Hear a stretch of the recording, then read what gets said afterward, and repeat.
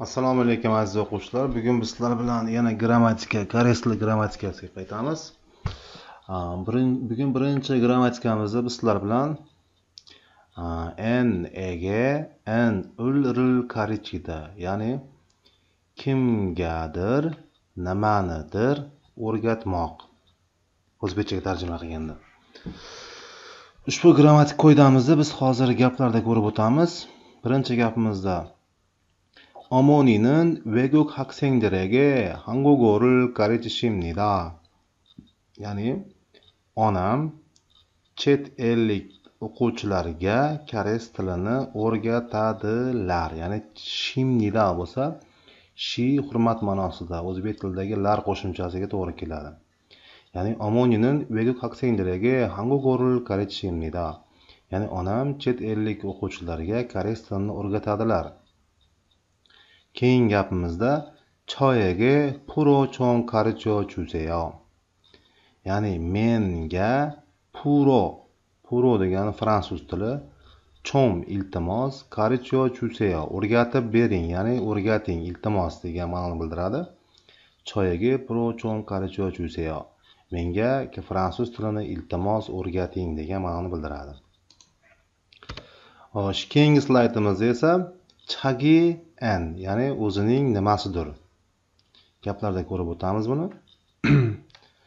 Chaki so'giril hepopshida ya'ni o'zimiz o'zimizni tanishtirishni qilaylik ya'ni qilib ko'raylik ya'ni o'zimizni bir birimizga tanishtiraylik degan ma'noni bildiradi ushbu gapda.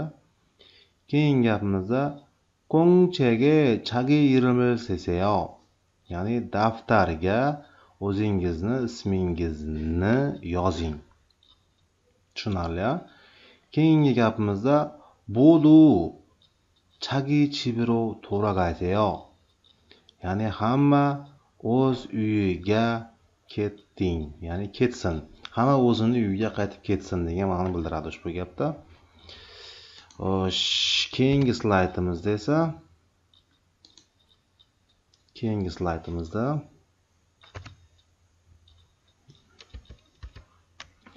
keyingi slaydimizda uchinchi slaydimizda nyon tal gevol chuyil ju shigan. Ya'ni bu asosan vaqtlarga ishlatiladigan so'zlarni ishlatilishini ko'rib o'tamiz hozir. Demak birinchi so'zimiz nyon nyon degani yil tal yoki kevol ya'ni oy. Oy ikki xil aytiladi tal yoki vol deb deyiladi. Keyingi slayd keyingi grammatik qoidamizda ehm, chu yil chu yil hafta kuni chu hafta. Shigan esa soat degan ma'noni bildiradi. Buni gaplarda ko'rib o'tamiz. Illion inyon samnyon sanyon ya'ni bir yil illion bir yil inyon ikki yil samnyon uch yil sanyon to'rt yil degani. Keyingi grammatikamizda hantal tudal sedal dedal ya'ni bir oy ikki oy uch oy va to'rt oy.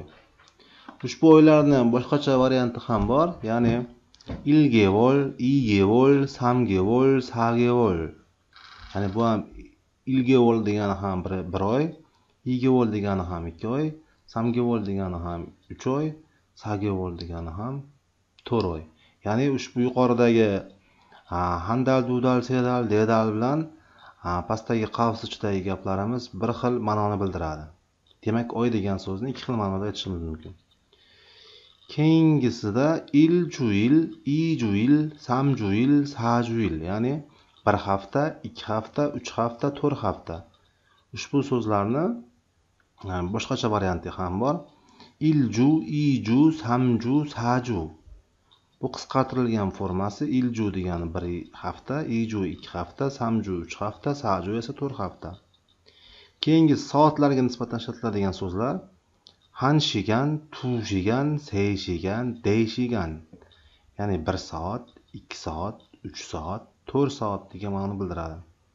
E'tibor bergan bo'lsangiz e'tibor bergan bo'lsanglar yil oy haftalarda ishlatilganda sanoq sonlarda asosan xitoycha ishlatilyapti lekin oyda tal degan so'z ishlatilgan paytda koreyscha harf ishlatilyapti. Handal dudal sevdal dedal. Lekin vaqtlarga ya'ni soatga nisbatan aytilganda hanshigan tushigan seyshigan deyshigan bunda ham koreys harfi koreys raqamlari ishlaydi. Qolganlarida esa xitoy raqamlaridan iborat bo'lib turibdi. Aziz o'quvchilar bugungi darsimiz shundan iborat. Keyingi darslarda ko'rishguncha xayr sog' bo'ling salomat bo'ling.